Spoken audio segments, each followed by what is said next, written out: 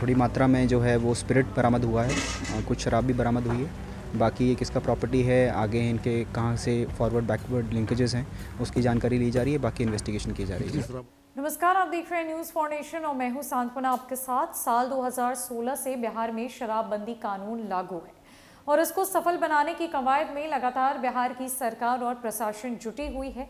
चाहे वो बिहार के बॉर्डर्स पर चेक पोस्ट की संख्या बढ़ाना हो, या फिर बिहार के विभिन्न जिलों में छापेमारी कर शराब तस्करों की गिरफ्तारी करना हो, शराब भट्टियों को ध्वस्त करना हो, या फिर इस शराबबंदी कानून के तहत विभिन्न योजनाओं की शुरुआत करना हो। मुख्यमंत्री नीतीश कुमार का ये सपना है कि बिहार का जो प्रदेश है, वो शराब मुक्त हो सके, समाज सुरक्षित हो सके, हर कोई खुशहाल रह सके। ऐसे में महिलाओं की सुरक्षा को देखकर भी ये फैसला लिया गया था बिहार में, लेकिन इसके विपरीत बिहार से कई तस्वीरें निकलकर सामने आती है, जहाँ लगातार शराब की बोतलों की खेपें बरामद होती हैं। तो कभी शराब तस्करों की गिरफ्तारी होती है, शराब की खरीद बिक्री के दौरान तो कभी शराब की भट्टियाँ पाई जाती है।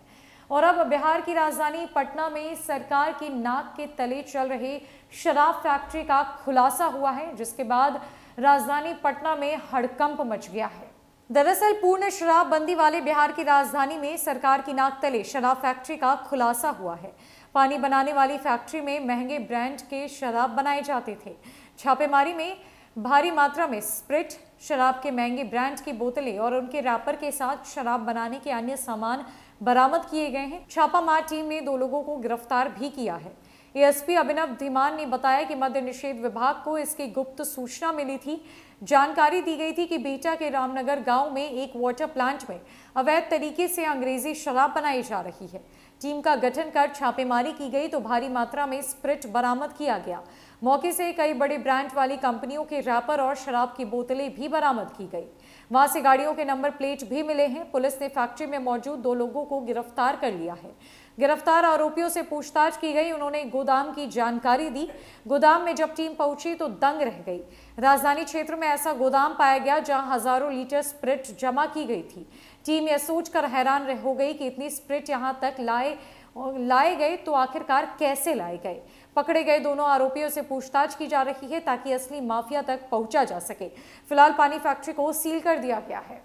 क्या पाया गया सर ये रामनगर बीटा में शाम को करीब जो सूचना मिली थी इसमें मद्य निषेध की टीम के साथ बीटा पुलिस भी इसमें एंगेज थी। उसमें यहाँ पे रामनगर बीटा से एक वाटर फिलिंग प्लांट था। Water filling station bottle wrapping plant Anmol PET enterprises के नाम से। उसके यहाँ से हमें करीब थोड़ी मात्रा में जो है वो स्पिरिट बरामद हुआ है। कुछ शराब भी बरामद हुई है। बाकी ये किसका प्रॉपर्टी है आगे इनके कहाँ से फॉरवर्ड बैकवर्ड लिंकेजेस हैं उसकी जानकारी ली जा रही है बाकी इन्वेस्टिगेशन की जा रही है। शराब बरामद की है सर? शराब करीब एक पेटी बरामद हुई है उसके अलावा स्पिरिट बरामद हुआ है उसकी काउंटिंग अभी कर रहे हैं। जितना अभी प्राइम फेसिया जो नज़र आ रहा है वो around twenty six hundred litres के करीब स्पिरिट बरामद हुआ है। सर जो शराब थी देसी थे विदेशी?